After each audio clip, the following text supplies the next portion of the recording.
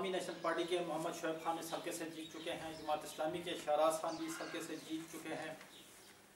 पाकिस्तान मुस्लिम league के general retired Fazal Haq भी इस हल्के से जीत चुके हैं। यहाँ पर जो है पीपल्स वर्कर इतिहाद के कासिम कसाब हमायून खान के मुखालिफ के तौर पे उभरे हैं। कासिम कसाब पुराने पाकिस्तान पीपल्स पार्टी के वर्कर हैं और उनका दावा है कि पाकिस्तान पीपल्स पार्टी के सारे वोट ले लेंगे। और वही पाकिस्तान पीपल्स पार्टी के ट्रू वर्कर और लीडर हैं। हाजी मोहम्मद अली खान ने पाकिस्तान मुस्लिम लीग क्यू छोड़कर पाकिस्तान मुस्लिम लीग में शमूलियत अख्तियार कर ली है और वो सजाद खान की हिमायत करेंगे?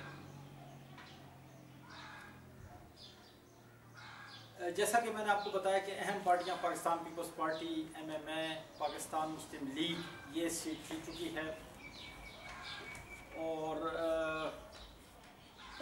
आज़ाद उम्मीदवारों में कोई प्रोमिनेंट कैंडिडेट नज़र नहीं आता और जो है वो पीपल्स वर्कर अलायंस के कासिम कसाब साहब हैं। जो आज़ाद उम्मीदवार खड़े हैं,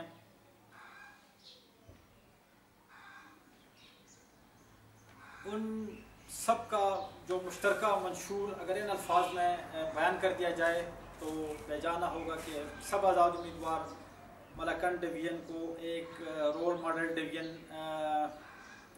बनाने, गरीबों के लिए रोज़गार के वसाइल मुहैया करने, स्कूल, कॉलेज और तलीमी सहूलियात बनाने, इलाके के अमन के लिए अनथक कोशिश करने और नौजवानों को खेल की तरफ़ माइल करने के मंशूर के साथ मैदान अमल में है। जो कि तकरीबन यही सारा मंशूर जो है, वो बड़ी बड़ी रिकगनाइज पार्टीज़ का भी है।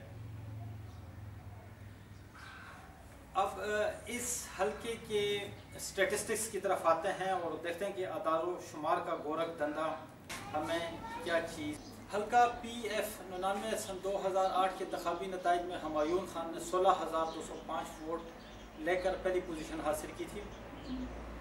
अवामी नेशनल पार्टी के मोहम्मद शुएब खान ने आठ हज़ार सात सौ इक्कीस वोट दिए थे। Pakistan peoples party Sherpao group के गनी मोहम्मद खान ने पाँच हज़ार सत्ताईस वोट दिए थे। एम एम ए के माज ने 950 पी एम एल एन के सजाद अहमद ने सात सौ अठानवे और पी एम एल क्यू के मोहम्मद अयूब खान ने अठारह सौ सैंतीस वोट हासिल किए थे। कुल पैंतीस हज़ार सोलह वोट डाले गए थे, जिनमें एक हज़ार एक सौ उनतीस रिजेक्ट हुए और बाकी तैंतीस हज़ार नौ सौ इक्यावन सही वोटों में से सोलह हज़ार आठ में जो रजिस्टर्ड वोटर थे उनकी तादाद एक लाख बाईस हज़ार एक सौ चालीस थी। और इस हल्के का टर्न आउट अट्ठाईस अशारिया छः छः फ़ीसद था। मैं आपको दोबारा याद दिलाता चलूँ कि इस वक्त इस हल्का एन ए पैंतीस के कुल रजिस्टर्ड वोटर्स की तादाद तीन लाख ग्यारह हज़ार आठ सौ सतासी है। अगर ये जो रजिस्टर्ड वोटर्स सन 2013 में हैं, इसके हिसाब से अब इस हल्के की जो रजिस्टर्ड वोटरों की तादाद है, वो एक लाख तिरपन हज़ार बनती है। और अगर एक लाख तिरपन हज़ार रजिस्टर्ड वोट में मर्द और ख़वान दोनों शामिल हैं। अगर इसका चालीस फ़ीसद टर्न आउट हम लें तो ये करीबन साठ हज़ार वोट बन जाते हैं। अगर साठ हज़ार वोटर्स जो हैं, वो वोट डालने के लिए आते हैं तो फिर हम यहाँ की जो सिनारियोज़ हैं, अभी थोड़ी ही देर में इसका हम जायज़ा लेंगे कि 40 फ़ीसद टर्न आउट में किस पार्टी की क्या पोजीशन होगी और किसके जीतने के अमकान बहुत ज़्यादा रोशन हैं। ये जो 40 फ़ीसद टर्न आउट है, इसमें ख़वातीन भी शामिल हैं। अगर साठ हज़ार वोटर्स आते हैं तो इसका मतलब ये है कि 50 50 के हिसाब से तीस हज़ार ख़वातीन अगर वोट डालने आती हैं और तीस हज़ार मर्द हजरात वोट डालने के लिए आते हैं तो फिर जो है ये सिनारियो बन हम देखेंगे कि किस तरह बनता है। अगर ख़वान कम आती हैं, दस हज़ार के करीब ख़वान वोट देती हैं और तीस हज़ार के करीब मर्द वोट देते हैं और कुल टोटल टर्न आउट जो है वो चालीस हज़ार हो जाता है जबकि पिछला टर्न आउट मैं आपको दोबारा याद दिलाता चलूँ कि वो करीबन चौंतीस हज़ार के करीब था तो जो छः हज़ार ज़्यादा वोटर हैं ये किसके पढ़ने में जाएँगे और ये इंतबी नतज के ऊपर किस तरीके से असरअंदाज होंगे इसका जायज़ा लेते हैं। लेकिन इससे पहले मैं आपको बताऊँ कि हमायून खान के 16,205 वोट सन 2008 के इलेक्शन के और मोहम्मद शाह पाचा के सत्रह हज़ार छः सौ चौवन वोट कुल मिलकर तैंतीस हज़ार आठ सौ उनसठ वोट बन जाते हैं। जबकि लाल मोहम्मद खान ने चौंतीस हज़ार चार सौ बहत्तर वोट लिए थे। और ये करीब करीब इन दोनों को जमा किया जाए तो चौंतीस हज़ार वोट बन जाते हैं। और लाल मोहम्मद खान ने कौमी असम्बली की सीट जीत ली थी। तो जिससे हमें एक इंसाइट ये मिलती है कि अगर किसी भी हलके में पी के अठानवे हो या पी के निन्यानवे हो, अगर इसमें करीबन अठारह अठारह हज़ार वोट पड़ जाते हैं या बीस बीस हज़ार वोट पड़ जाते हैं तो जो उम्मीदवार है जीत जीतने वाला जो उम्मीदवार है तो वो उसी पार्टी का जो मरकज़ी उम्मीदवार है उसको करीबन चालीस हज़ार वोट के करीब वोट पड़ जाएँगे और वो कौमी असम्बली का मेंबर बन जाएगा।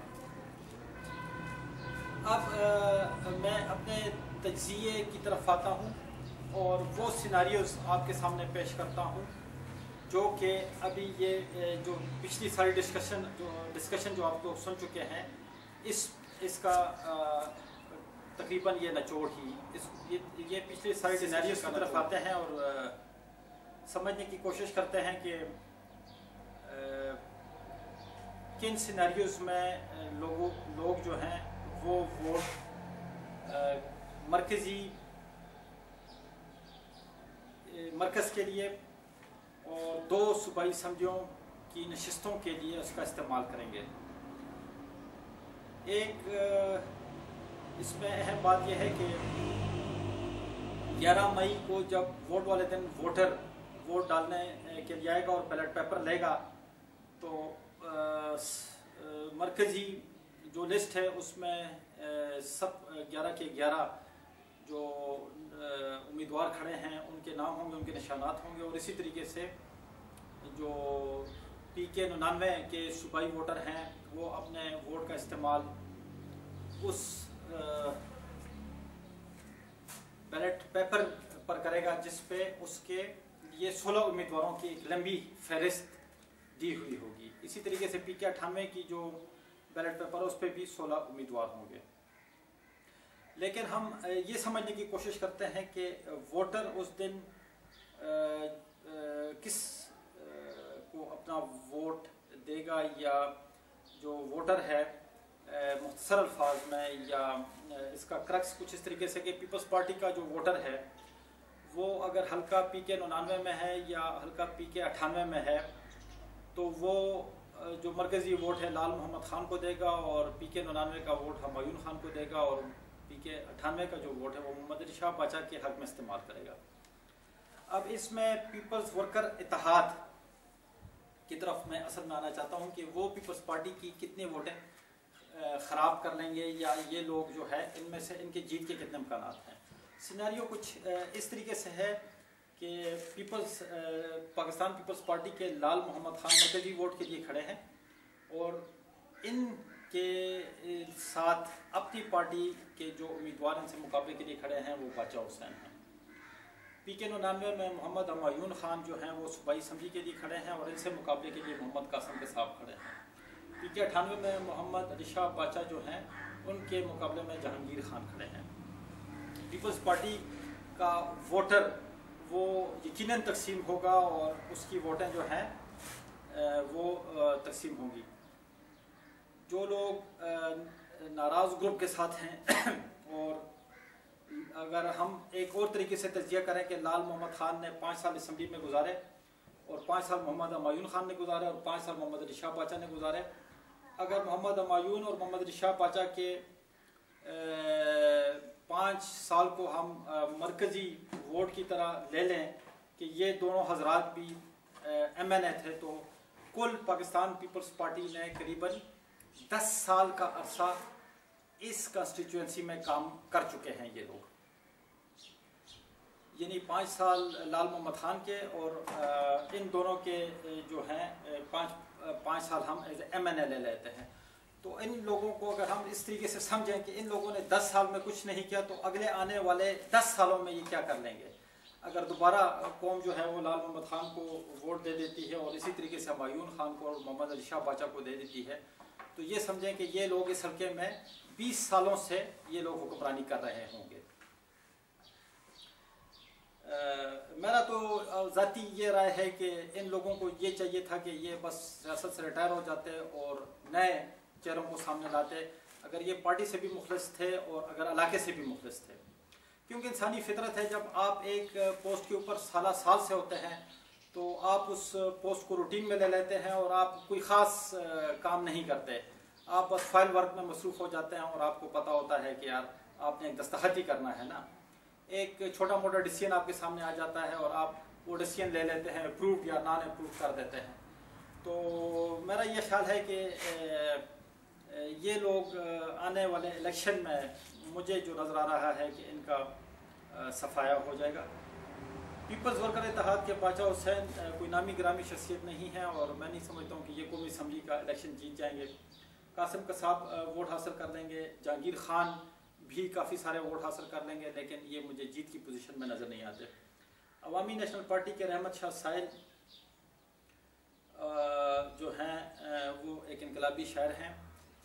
वो भी अवामी नेशनल पार्टी के जो नाराज़ ग्रुप हैं, जिनका अभी मुझे कोई इलम नहीं है कि ये किस तादाद में होंगे, लेकिन यकीनन चूँकि